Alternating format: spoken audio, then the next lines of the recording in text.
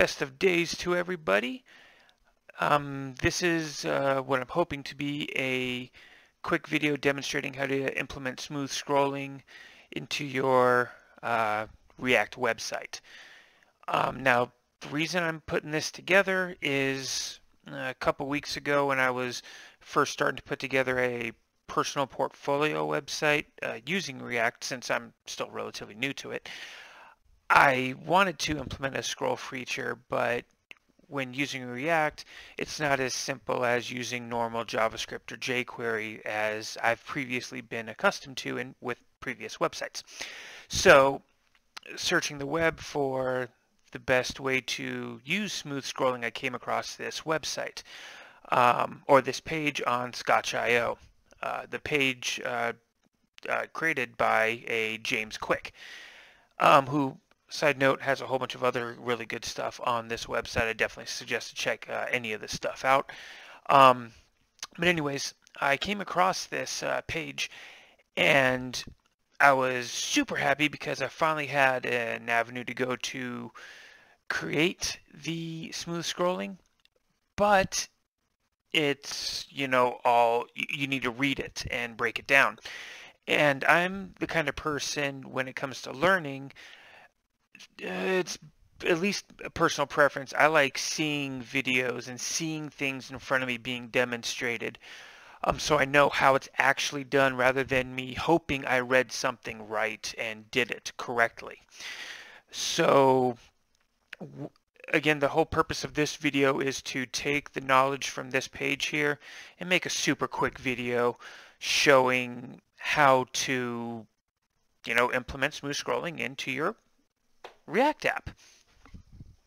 Now a super quick rundown of what I have here is, again, this is the site that I'm, you know, referencing.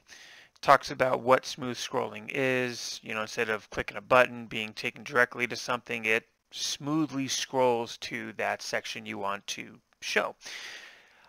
It uh, breaks everything down with installing, um, importing, and using the link component to you know make it all work. Now this guy even went as far as to make an actual starter project that you can easily clone off of GitHub, follow step by step and get it all to work. Now I'm not going that far, but I will be putting this link um, for the actual site in the notes uh, underneath this video. So if anyone wants to give this a look and get more detail uh, into how this works, absolutely please go ahead and do so. So again, gives you instructions on how to clone and yeah, some pictures on how to do everything, uh, installing, yada, yada, yada. And that's, this is basically where I'm going to start um, this, uh, this tutorial. Now, what I have on my end so far, a very simple React app. I have the app.js, which basically has a navbar, uh, main section, about, and contact. The navbar, basically an unordered list with the class name of navbar with three list items. You got main, which is simply one div called main section, same with about, same with contact. Now the way that those are broken apart is each one has a view height of 100 and a different background color so we can see them all separated. So when we pull up the actual site, it's right here. You have the nav bar and then you scroll and you know you have all three of the pages. I apologize for the colors. I just picked three random ones and decided to go with it. So once this is all said and done, again, once you click on any one of these, it'll scroll straight to that page. Now main is what we're already on, so if you clicked about, It'll scroll straight to about, and contact will take you straight to contact, about straight to about, and just like that. So, let's get this going. So first things first, I already have this terminal here running um, the uh, npm start right now. So I really can't do anything here. So what I'm going to do is split the terminal with another one. So you'll see that it always already takes us to the directory of React Scroll demo. So per the per first instruction here, we need to install this. So npm install react scroll. So let's go ahead and get that in there.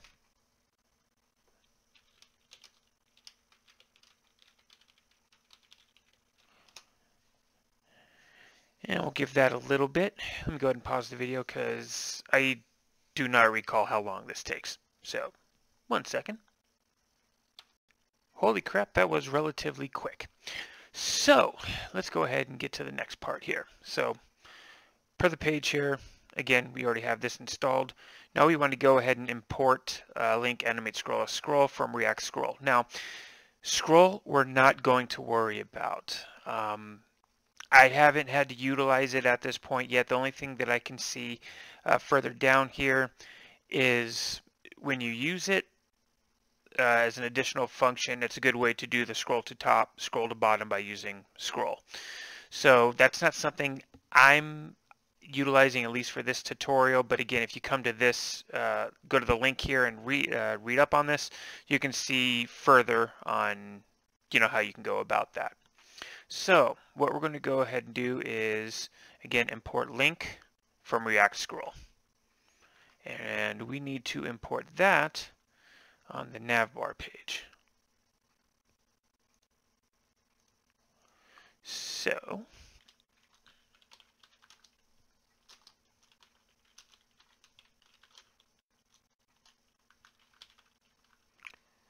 so go ahead and get React Scroll in there. So now we need to make all these, instead of list items, they need to be links. So we're going to go ahead and grab this just as a uh, as filler or well, placeholder, whatever you want to call it. Let's go ahead and toss that right there. And the link is actually going to be main This is going to go to main. So we can get rid of that. And you know, let's just go ahead and copy this.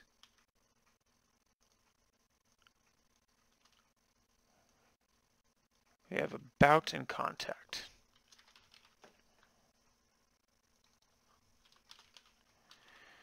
Now, I didn't think ahead and think on how this might mess up the CSS. We'll find out once I uh, go ahead and refresh everything. So we have that, we have that, and we had, yeah, so we're good right there. Let's go ahead and save. Let's see how the page looks. Yeah. Alright, that's not a huge deal. I can always go ahead and fix that. But what we need to do is go to main, about, and contact. Give each one of these an ID. Your ID will be main. Yours will be about, save, and the last one here should be contact. Now, I know I kind of just rushed through all that and plugged everything in without much explanation, but that's the good thing about this is not much is really needed. You uh, you turn each one of these thing, uh, each one of the items into a link. Heck, we could probably just get rid of the unordered list because there's no list items within it. So let's go ahead and do that. Save it. Now, if I had done have done this correctly, this should work. So I'm at main. There's the about.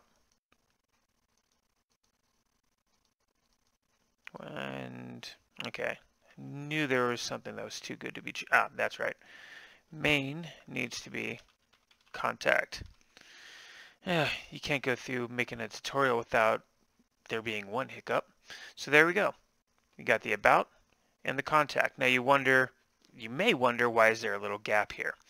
Now that's when we're going to go a little bit further into this. Uh, the to takes you basically to the ID that is for that component. Again, this one being main. So there's the ID and so on and so forth. Again, you got one for about, you got one for contact. So main, about, contact. Now, the page will give more specifics as to what all this stuff does. I mean, I can look over them really quick for you. Again, target to scroll to is the to. Uh, make link selected when scrolls at its targeted position. Smooth animates the scrolling, so I'm assuming if smooth was false, then it wouldn't be smooth. They'd just click straight to it. Now, you notice that gap that I was just mentioning, that's the offset. That's basically a padding. So if we go ahead and get rid of all of that, save it again. Uh, we need something in there, so let's just go ahead and with zero.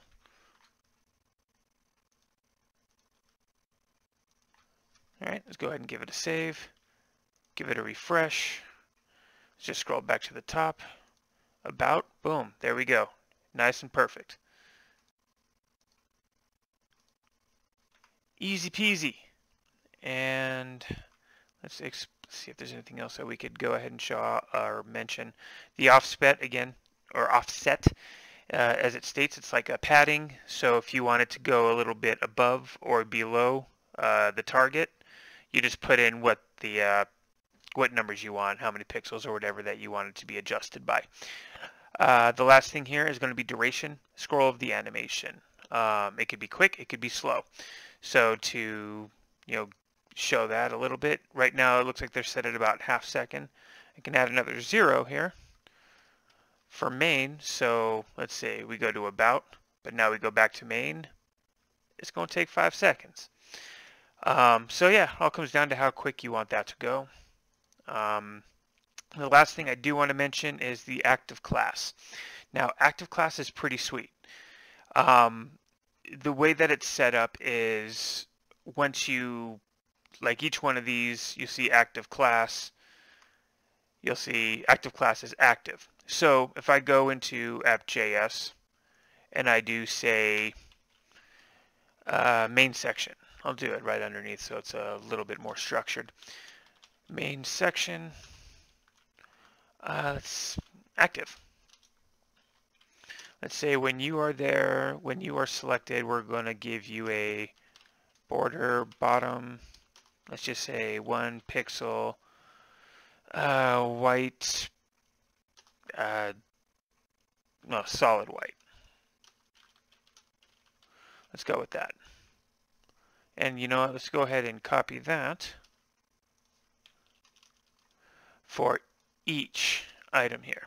So we got one for main, we got one for about, and one for contact. So let's go ahead and save that. So now we should, ah, it's not showing. All right, first let's go ahead and fix that nav bar issue because that is, who does five seconds, right? Okay, so what did I miss here? Let's go ahead and look at those instructions again. Guess sometimes it is good to read. So,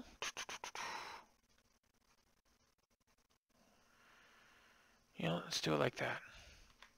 Instead of just going straight to, let's just call it what it is. It'll be nav bar. That wasn't how they had it though. It was dot active. Okay. I totally went all wrong about that and I do apologize for wasting everybody's time right there. So now it should, there we go. Again, it's really friggin' small and I wish I would have thought about that when I uh, put everything together. But again, when you get to each spot, it'll add that class to it. And what's nice is you don't even need to click it because as soon as you scroll, as soon as that section is the active section, you'll see it goes ahead and adds that underline or any other type of uh, attribute you want to add to the uh, that nav element once it's selected. So that uh, basically uh, covers it. Um, I, I, hope I explained it cleanly and uh, easily. Again, uh, simple steps. You just go ahead and uh, install React Scroll. Um, use link, uh, import link from React Scroll and use this as your template. And don't forget to close the link, uh, uh, close the link, add the name, uh, and adjust as you need to. Again, the key thing that, again, could stump many people is make sure the to is going to be the ID that you want the section to be. Um, aside from that, uh, thanks for taking the time to give this a look. Uh, if there's any questions, uh, you can feel free to hit me up in the comments. But uh, truth be told, if there's any questions, you're going to want to reach out to the Genius that put this page together. It's definitely not me. Hit up Mr. James Quick. Follow him on Twitter. And uh, yeah, thanks for taking the time. Have a good one.